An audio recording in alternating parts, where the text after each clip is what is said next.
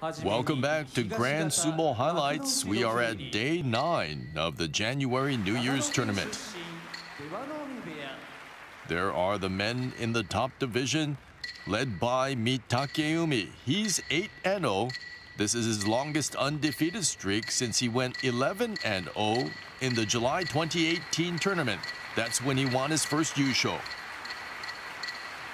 Here's the full leaderboard. Mitakeumi in first place. Yokozuna Terunofuji one step behind, and six men at six and two. As we enter the second week of this first tournament of 2022. Getting a look at Magaki Oyakata, you know him better as the greatest of all time, Yokozuna Hakuho. Here's our first bout of the day between sole leader Mitakeumi and Okinoumi. Mitakeumi, the only undefeated man in the top division. This series closer than you'd think. Mitakeumi with a slight 6-5 lead.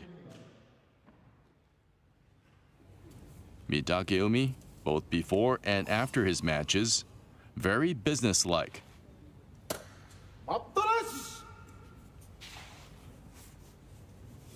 Okinoumi at 2 and 6, bothered by a sore left knee. Fast start by Mitakeumi, and he makes quick work of the veteran Okinoumi. He stays undefeated, now at 9 and 0, and will be the sole leader after nine days of action.